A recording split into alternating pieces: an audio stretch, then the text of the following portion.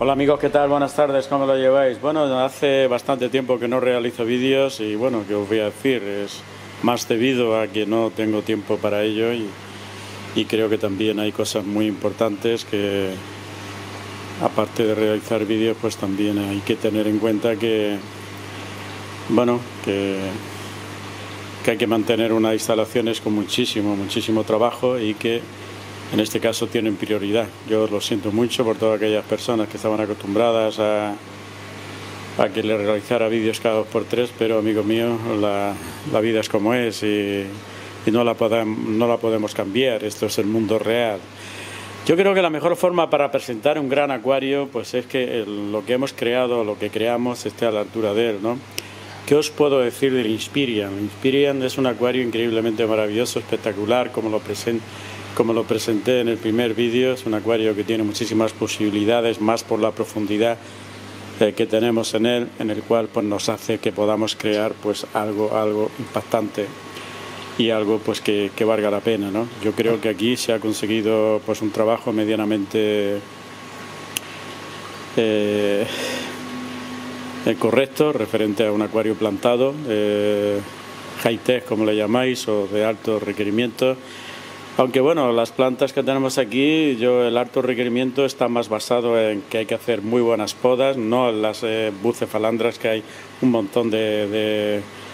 de, bucefalandras. Y la verdad pues hay muchísimos musgos, eh, también tenéis eh,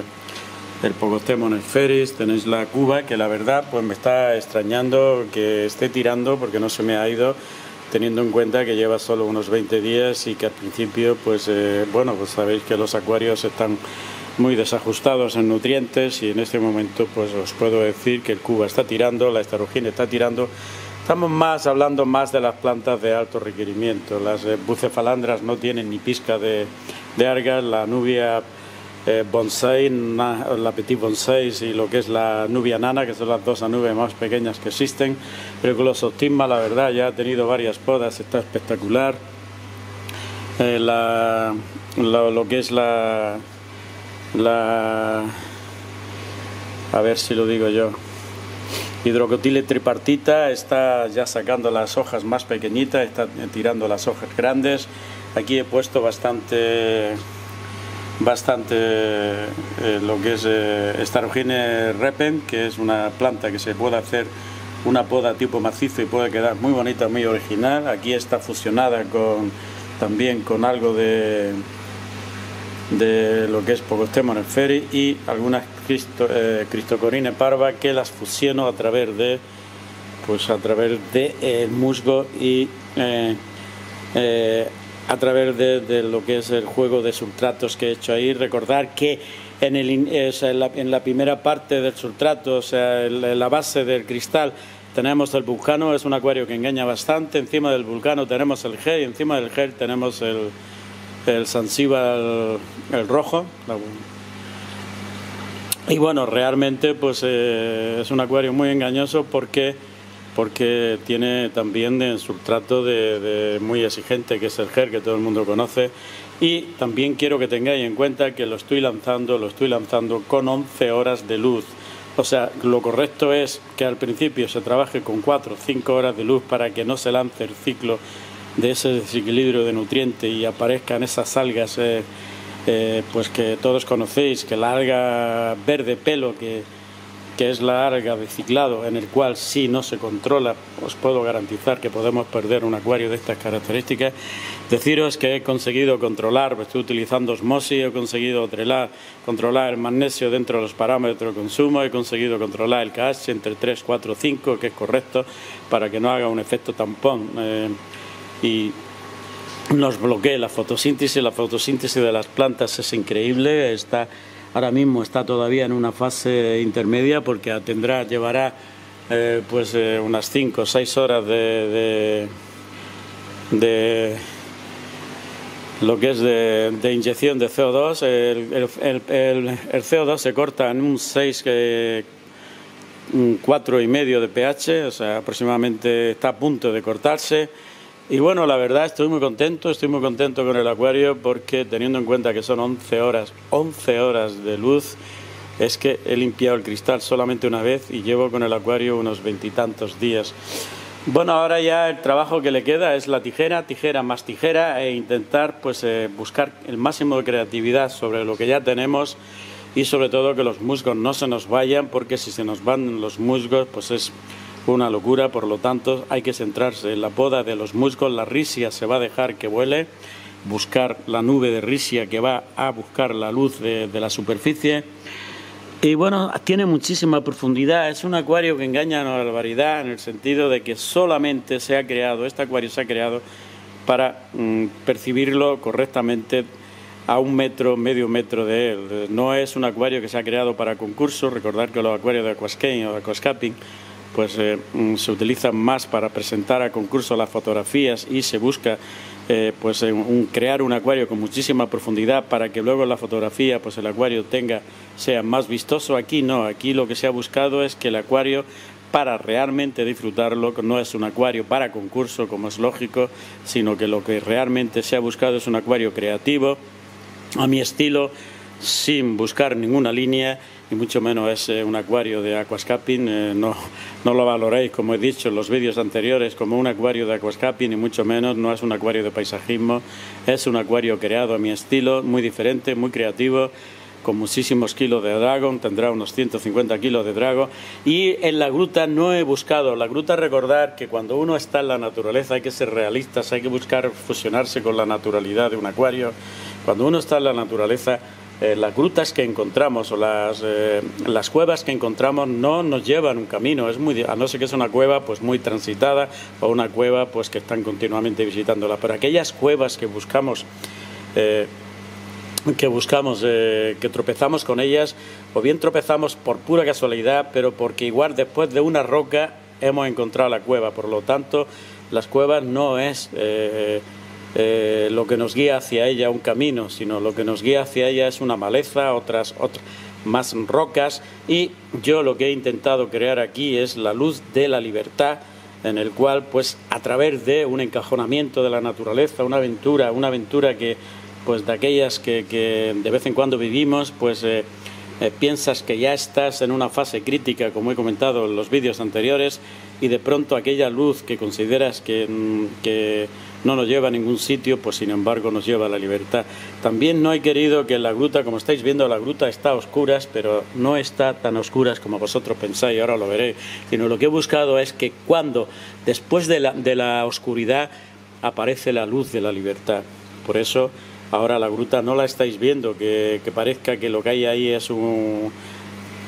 una luz que parece un foco de una discoteca, no, ni mucho menos. Para buscar la luz de la libertad hay que meterse y encerrarse en la gruta y después de estar encerrados y de estar ahí perdidos en la gruta, pues encontramos una luz que nos lleva a la libertad, que nos da ese camino pues que nos va a sacar de la gruta porque ya pensábamos aunque yo lo he, lo he creado más en lo que es la historia a través del río que nos encajona y buscamos esa luz eh, a través del barranco que eh, pues pensando que ya no va a haber eh, un camino que nos lleve hacia arriba porque estamos encajonados en un desfiladero, bueno, pues esa luz es la que nos da la libertad y a la derecha encontramos el camino. Aquí en lo que he creado ha sido una, una gruta en el cual representa las vivencias de hace treinta y tantos años que tuve,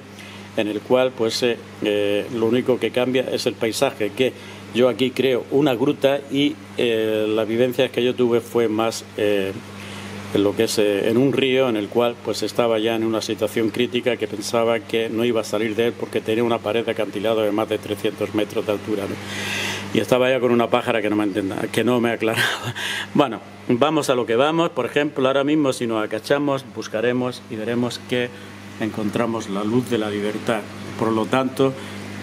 después de estar, de estar perdido en esa gruta, lo que encontramos es, a través de la luz, encontramos la libertad porque encontramos la salida. Pero no hay ningún camino que nos lleve a la gruta porque no me gusta pues esos caminos de grava. Los acuarios los odio y he intentado buscar la naturaleza total. No. Aquí en esta zona de aquí había un, eh, aquí hace recordar que los, eh, los, cristales de los acuarios, los laterales, y hacen efecto espejo. Bueno, pues aquí había una luz, o sea, había un cristal, el cristal trasero, como es el fondo oscuro, creaba un efecto espejo que toda la parte trasera de la roca se reflejaba hacia el cristal y afeaba muchísimo esa zona pues que no era pues eh, muy, muy vistosa. Entonces lo que he hecho ha sido fusionar las, eh, el musgo, las bucefalandras, la hidrocotile tripartita, las anubias, las raíces, la fusionar de tal manera en el que corte la visión espejo y pues parezca un poquitín más natural, un poco más profundo. Eh, bueno, por lo general, pues eh, solamente os puedo decir, yo sobre todo para Heim, pues que yo creo que también hay veces eh, que las marcas no se presentan a través de un boxis, abrir una caja y presentar una urna, da igual que sea Inspiria o que sea cualquier acuario, por muchísima calidad que tenga, también creo que lo más importante no es presentar el acuario en sí, eh, salido de una caja, es decir, espectacular, increíble, porque podemos comprar un acuario increíblemente espectacular como es el Inspiria, pero lo más importante es que cuando llegue la hora de la creatividad estemos a la altura del acuario. Yo, sinceramente, creo que, eh, teniendo en cuenta que lleva tan solo veintitantos días, creo que estamos a la altura de la marca y solo tengo que agradecer a Heim pues, eh, que haya puesto un acuario increíblemente maravilloso en mis manos el Inspiria 330 y sobre todo a Valdés y Valdés, pues, pues, pues, eh, bueno, pues que se dedica a distribuir una de las mejores marcas que existen a nivel mundial en acuarios. Es un acuario espectacular, un acuario increíble y a mí me encanta y sinceramente pues puedo decir que me siento muy orgulloso de eh, tener un Inspiria en Mundiacuario y sobre todo me siento muy orgulloso de tener un Inspiria lleno de vida que es lo que buscaba y, y, espero y deseo que lo que aquí se está creando esté a la altura de la marca y en la, sobre todo de las personas que, pues que eh, se dedican a distribuir este tipo de acuarios que son increíblemente maravillosos, sobre todo para los aquascaping, para los acuarios de paisajismo son espectaculares y para los acuarios marinos también son increíbles, debido a que tienen una profundidad espectacular, 60 centímetros, y se puede dar una creatividad al acuario de mil maneras, ¿no? Yo he creado aquí pues algo diferente a lo que es el aquascaping, pero de verdad os puedo garantizar que si estuvierais cercano al acuario, os puedo garantizar que, que es espectacular eh, la profundidad que tiene. Aunque no se aprecie mucho las imágenes, aparte yo soy muy malo, muy malo eh, filmando, pero creeros que eh, bueno, la verdad tiene una profundidad espectacular. Lo mires por donde lo mires, es espectacular. El musgo está cogido con hilo de nylon, pero el hilo que se utiliza para, eh, no para pescar, porque para pescar es demasiado rígido, un hilo que se utiliza para, para coser y sobre todo para bordar. Es un hilo increíblemente maravilloso porque si, si se utiliza el gel, aunque he utilizado algo de gel para pegar los musgos, al final en este tipo de raíz, la raíz roja o la Redmond, eh, al final salta, salta, salta lo que es el, se despega y queda feísimo porque queda es, eh, sobresale ese pegamento blanco que queda fatal, fatal, fatal. Y aquí pues lo que he intentado las raíces, el musgo que he pegado las raíces lo he hecho como antiguamente se hacía con el hilo de, que hoy he comentado anteriormente. Y bueno yo creo que las, eh, las lo que son las, eh, ahí lo estáis viendo, cómo se encuentra la, lo que es la fotosíntesis de las plantas. sobre todo la risia es espectacular, dentro de una hora, hora y pico, no ha aparecido absolutamente nada de pincel, ninguna pincel, he metido unos Styriosoma panamensis, no, unos Styriosoma no son panamensis, son otra, otra especie. Y solamente voy a meter unos 150 micro rasboras eh, y no voy a meter nada más. Le he metido también unos, eh, unos caracoles eh, Picasso y, pues también puedo permitirme meter algunas gambas porque las micro rasboras, como la palabra lo dice, son peces muy pequeñitos y no molestan absolutamente para la gamba. O sea que este acuario va a estar con los peces que hay en este momento, que son los Esturiosoma, los Picasso, unos 150 micro rasbora, que todavía no sé la especie que voy a elegir y sobre todo pues eh, voy a meter algunas gambitas que le den colorido, no mm, caridinas sino neocaridinas porque bueno, aunque en el verano voy a controlar este acuario bastante con el tema de lo más seguro le pondré un enfriador porque tengo ahí enfriador de sobra para intentar que se mantenga la, la temperatura 25-26 grados y así evitar que las plantas sufran. Por mi parte, ¿qué os puedo decir? Simplemente pues eh, que hay mil formas de presentar una marca y yo espero y deseo que esta forma que no es un unboxing, sino es aquello que ya se ha creado dentro de un acuario increíblemente maravilloso, que es un Inspiria, pues esté a la altura de la marca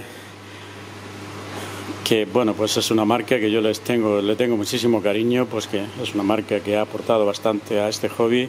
tiene toda una historia toda una vida muchísimos años eh,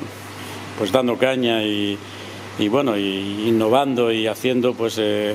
pues que aquellos aficionados pues tengan productos que, con de muchísima calidad y sobre todo acuarios que están arrasando están están vendiéndose más que ningunos. Y el Inspiri en sí como estáis viendo es un acuario pues que eso no, hace falta tampoco que se le ponga el juego de discoteca sino por ejemplo ahora mismo si veis las luces eh, que tiene la mesa pues hacen juego con lo que es el acuario en sí y si fuera pues un acuario marino pues lo único que se haría pues cambiar esa tonalidad de luces de luz que se ve ahí reflejada pero queda muy bonita muy original sobre todo con la noche por la noche con todas las luces del salón apagadas y ver esa luz ahí iluminada que ah, aporta pues eh, un toque de intimidad, a la vez que también en lo que es el acuario en sí, pues creo que puede ser para un salón increíblemente maravilloso. Bueno, pues nada chicos, yo en la fase que, que me corresponde referente a plantas está todo lo que tenía que hacer, simplemente ahora pues en estos tres o cuatro primeros meses voy a intentar controlar porque el potasio, eh, lo que es sobre todo pues eh, el CO2 que necesita, los en los productos nitrogenados, sobre todo, pues eh, lo que es la estabilidad de los de, el equilibrio de nutrientes esté dentro de una línea correcta y no sé la proporción de la proporción de, de potasio, la, la proporción de, nitrato y la proporción de fosfato, sinceramente sigo diciendo que el NPK es un poco teoría porque realmente quien nos dice lo que está consumiendo de potasio, fosfato y nitratos eh, no, no somos nosotros ni la regla de tres, sino el acuario, depende qué tipo de acuario, de qué plantas tengamos, pues eh, igual nos puede ir bien con 14 de, potasio, como también nos puede ir bien con 8 o 10 de potasio. Por lo tanto, yo le voy a seguir el juego a lo que es lo que me pida el acuario y si necesito meterle más potasio, lo meto más potasio, y le metí, si necesito meterle menos mosis y más agua del grifo, lo meteré más agua del grifo. Y eso en sí, pues si necesito fosfato, necesito hierro, la planta me lo va aplicando dentro de lo que es pues eh, todos los potingues que tengo que voy a utilizar, que son todos los potingues que voy a utilizar, no van a ser eh, NPK preparados, sino todos los productos de,